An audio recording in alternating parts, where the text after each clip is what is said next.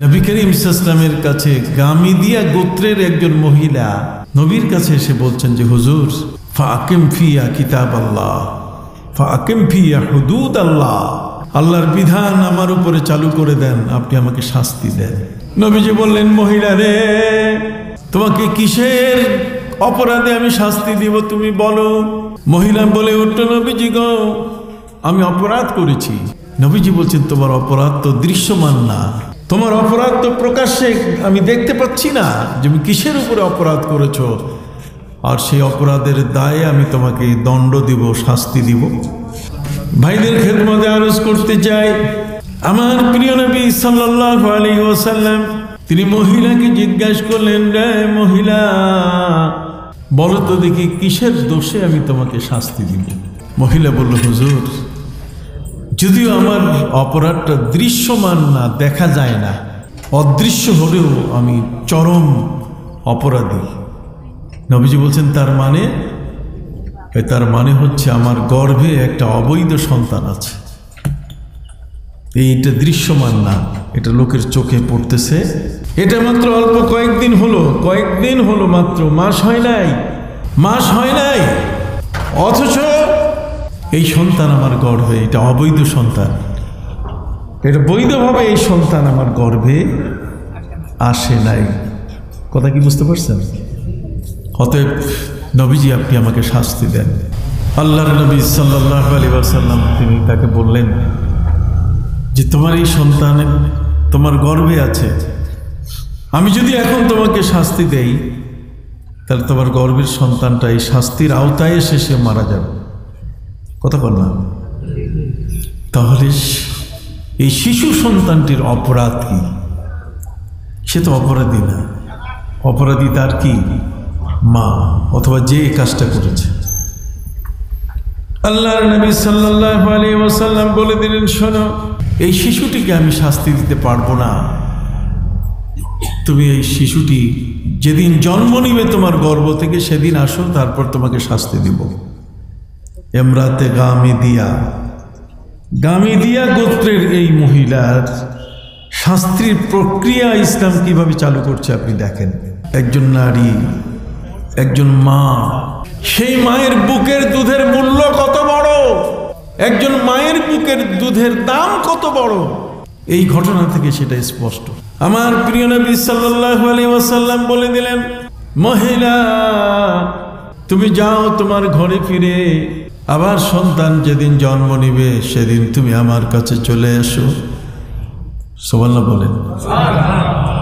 নবীজি তাকে পাঠাই দিলেন, কিন্তু তার পিছনে কোনো গোয়েন্দা তদারকির ব্যবস্থা করলেন না। নবীজি তাকে যেতে বললেন, বাচ্চা যেদিন জন্ম নিবে, সেদিন এসো। তারপর তোমাকে বলেন না, কি দিব? মহিলার পিছনে নবীজি কোনো পুলিশি নজরদারি, যেকে দেখে রাখবা যাতে পালায় না যায়। নবীজি রাখেন নাই কেন? যেহেতু মহিলা নিজেরই যে স্বীকৃতি দিয়েছে এবং নবী করিম ইসলামের যুগটা ছিল সোনালী যুগ। খাইরুল করুনে ইয়ালুনাহুম আমার প্রিয় নবী ইসলামের যুগটা ছিল সোনালী যুগ। সুবাংলা বলেন। এই সোনালী যুগ যে সোনালী যুগে আমার প্রিয় নবী সাল্লাহ আলী ওয়াসাল্লাম তার সাহাবা একরামের মধ্যে যে আদর্শ তিনি চালু করেছেন, পৃথিবীর মধ্যে আজ পর্যন্ত ওই আদর্শ কেউ চালু করতে পারে নাই। সোহান্না বলেন। প্রিয় নবী ওয়াসাল্লাম সেই মহিলাকে বললেন, যাও। নবীজি সাহাবা ইকরামকে চেনাতে সক্ষম হয়েছেন যে এইটা সুদ, এইটা ঘুষ। এইটা প্রতারণা এইটা মিথ্যা এইটা ধোকা এইটা প্রবঞ্চনা। কথা বুঝতে পারছেন? এইটা লোভ এইটা লালসা। আল্লাহ নবী সাল্লাহ সাল্লাম প্রত্যেকটি অপরাধ গুনাহে কবিরের সংখ্যা কত? বলতে পারেন? গুনাহে কবিরা বড় গুণা। এটার সংখ্যা কত? বড় গুনাহের সংখ্যা সম্পর্কে বলা হয়েছে প্রায় সাতশো পর্যন্ত। কত? সাতশো। এই সাতশো গুণার খবর আমাদের কাছে নাই। কথা বলেন না। এই যে বিশ্বকাপ চলছে, এটা গুণা হচ্ছে না সব হচ্ছে? মৌলানা সাহেবরা এখানে চুপচাপ, এখন আর বেদাতের ফতুয়া দেয় না। মিলাদ কেয়াম হলে তো ফতুয়া দিত এক গলা ধরে ঠাইসা দিয়ে দিত। এখানে তার কোনো ফতোয়া নাই।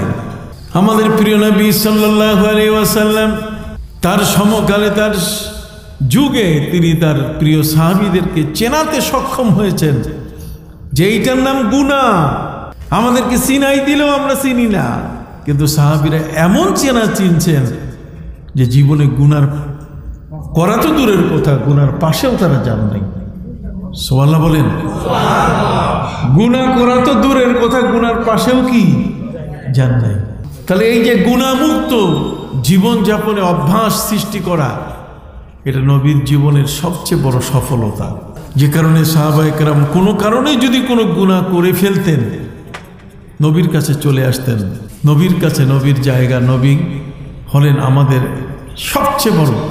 এই পৃথিবীর মধ্যে সর্বশেষ একটি জায়গা, যেখানে গিয়ে আমরা আমাদের জীবনের গুণাগুলো মাপ পাইতে পারি। কথা বলেন। আমরা আমাদের জীবনের গুণাগুলো কি পাইতে পারি?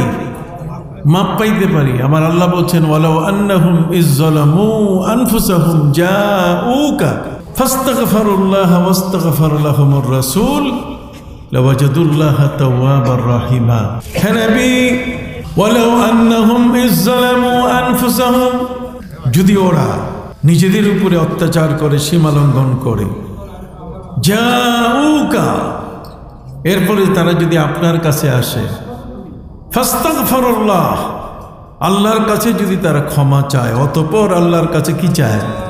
ক্ষমা চায়। রাসূল। এবং প্রিয় রসুল সাল্লাম যদি তাদের জন্য আল্লাহর কাছে ক্ষমার সুপারিশ করেন যে আল্লাহ মাফ করে দেন। ওরা যেহেতু আমার কাছে আসছে। আশ্রয়ের শেষ স্থল আমি। সোমাল্লা বলেন। এই দুনিয়ার মধ্যে আশ্রয়ের শেষ স্থল কোনটা? আমাদের নবী। কথা বল না।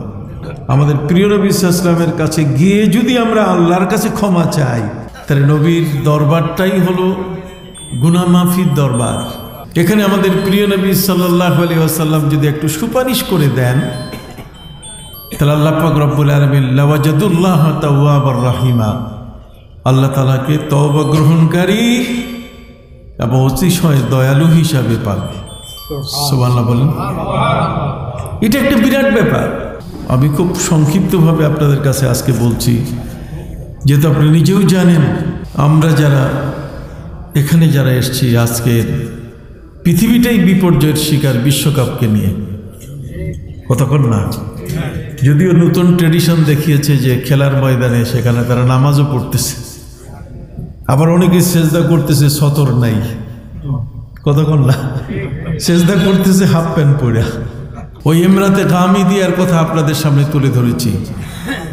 সেই মহিলা নবীর কাছে এসে বলছে, আমি বেবিচার করেছি নবী, শাস্তি দেন। নবী বলছেন, তোমাকে আমি শাস্তি দিতে পারব না। তোমার পেটের বাচ্চাটা, তোমার শাস্তির সাথে সাথে সেও মারা যাবে, হতে পারে না। অতএব বাচ্চা আগে প্রসব করো। নবীজি তাকে ছেড়ে দিলেন। তার বিরুদ্ধে, তার পেছনে কোনো পুলিশি তদারকি, কোনো গোয়েন্দা নজরদারি রাখেন নাই। কারণ তিনি জানেন যে সে বুঝতে পারছে যে আমি অপরাধ করছি, সে আবার ফিরে আসবে। সোমানা বলেন মহিলা বছর খানেক পরে, দশ মাস, দশ দিনের সময় পরে, আমার নবীজির কাছে ফিরে এসে বলছে, নবীজি, এই বাচ্চা জন্ম দিয়েছে, আপনি আমাকে শাস্তি দিন। আল্লাহর নবী সাল্লাহ আলী ওয়াসাল্লাম বলে দিলেন, মহিলারে, আমি তোমাকে এখনও শাস্তি দিতে পারব না। কয় কারণ? বাচ্চারা জন্ম নেওয়ার পরে তোমার বুকের দুধ সে দুই বছর পান করবে। সোয়াল্লা বলে। এই দুই বছর বুকের দুধ পান করার এটি নির্দেশনা হচ্ছে আল্লাহর। এটা আল্লাহর পক্ষ থেকে এই অধিকারটুকু একটি শিশুকে মায়ের বুকের দুধে দেওয়া হয়েছে, যেটা আমেরিকান, ইউরোপিয়ান, অস্ট্রেলিয়ানরা, ইংল্যান্ডের যারা আছে, তারা কিন্তু এটা দেয় না।